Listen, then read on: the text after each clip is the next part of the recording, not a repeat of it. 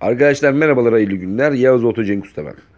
Şimdi arkadaşlar e, trigger kayışı takacağız. Trigger kayışı takacağız ama Tofaş 1600 1300 trigger kayışı nasıl takılıyor onu göstereceğim size. Şimdi arkadaşlar bu tarafa geldiğimiz zaman Grank dişlimiz Grank dişlimiz egzantrik dişlimiz. Şimdi arkadaşlar bunun üzerinde orijinal kendi işaretleri var. Bir tornavida alabilir miyim ustacığım? Şimdi benim kanalımda bu aracın bir sente videosu daha var. Bir sente videosu daha var. Bu da ikinci sente videomuz arkadaşlar. O videoda mesela kasnağın üzerindeki çizgiye göre ayar vermiştik. Bakın kasnağın üzerinde şurada çentik var. Gözüküyor. Şurası arkadaşlar. Şu çentiğe göre ayar vermiştik. Şurada çentiği var.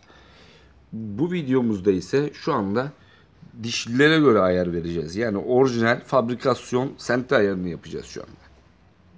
Şimdi arkadaşlar grank dişlimiz, grank dişlimizin üzerindeki nokta. Grank dişlimizin üzerindeki nokta tornavidanın hemen altında. Şuraya denk gelecek arkadaşlar. Burada L işareti gibi bir işaret var görüyorsunuz. Grank dişlimizin altındaki nokta oraya denk gelecek. Egzantrik dişlimizin üzerindeki nokta da buraya denk gelecek arkadaşlar. Yani bu aracın sentezi çok basit. Dişlerin üzerindeki noktaları o karşı taraftaki L işareti gibi olan işarete denk getiriyorsunuz. Bakın burası ona denk gelmiş. Crank dişisinin üzerindeki nokta da ona denk gelmiş. Bu aracın sente işareti böyle arkadaşlar. Senteyi, sentesi bu şekilde. Tabi bunu bu şekilde senteye alırken pistonun üst ölü noktada olmasına dikkat edelim. Pistonlarımız da şu anda bakın üst ölü noktada. Bakın buradan baktığımız zaman pistonu görüyoruz. Şimdi aşağıdan grank dişlisini sağa da hareket ettirseniz piston aşağı iner. Sola da hareket ettirseniz piston aşağı iner. Yani üst ölü nokta dediğimiz ince bir nokta var orada. Piston her iki yöne de aşağı iner. Ustacığım bir kasnağı çevirelim istersen arkadaşlara gösterelim. Arkadan volanttan çevirelim. Yok volanttan. Bak şimdi. Sağda aşağı indi. Tamam usta. Öbür tarafa. Ölü noktaya alalım. Bak yine aşağı indi. Tamam abicim. Tekrar senteye alalım. Şimdi tekrar senteye alalım. Az daha çevir abi. Çok az daha. Çevir çevir. Çevir çevir çevir. Tamam. Biraz geri. Ya, tamam.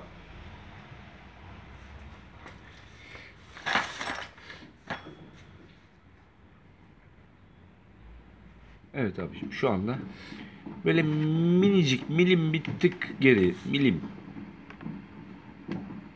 Çok az. Tamam. Böyle iyidir abi. Şimdi arkadaşlar trigger kayışımızı takacağız.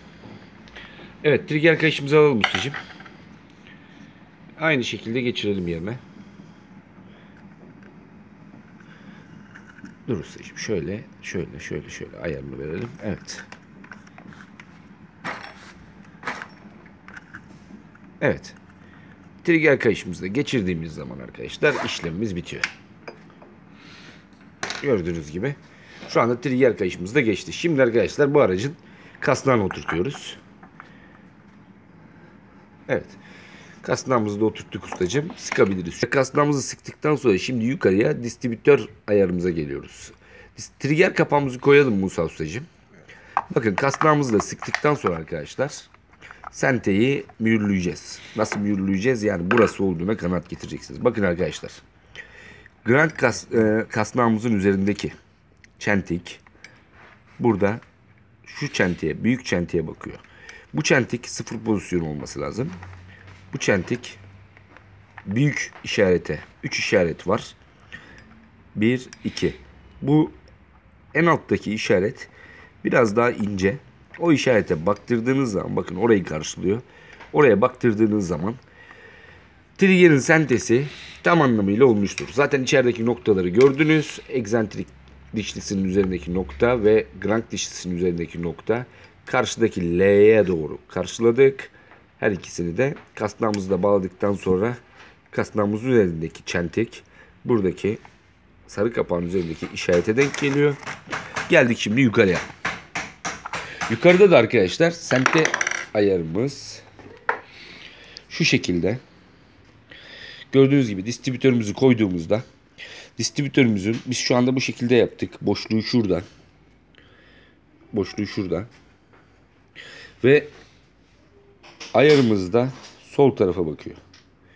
Yani şu şekilde şu pozisyonda ayarladığınız zaman arkadaşlar olayınız çözülmüş olacaktır. Evet ustacığım şimdi koyalım kapağımızı. Bakın arkadaşlar. Tamam seyrettiğim orada zaten. Çentiyi orada. Kapağı koyduğumuz zaman çıkarttığımızda temizlik makinesinin başı birde. Gördüğünüz gibi. Tekrar koyalım ustam. Kaldıralım yavaşça. Evet. Temizlik makinemizin e, başı birde. Bu şekilde ayarladığınız zaman e, işleminiz tamamdır arkadaşlar. Hepinize teşekkür ediyorum. Beğendiyseniz beğen tuşunu tıklayalım. Abone olmayı unutmayalım. Hayırlı günler diliyorum. Bir sonraki videomuzda görüşmek üzere.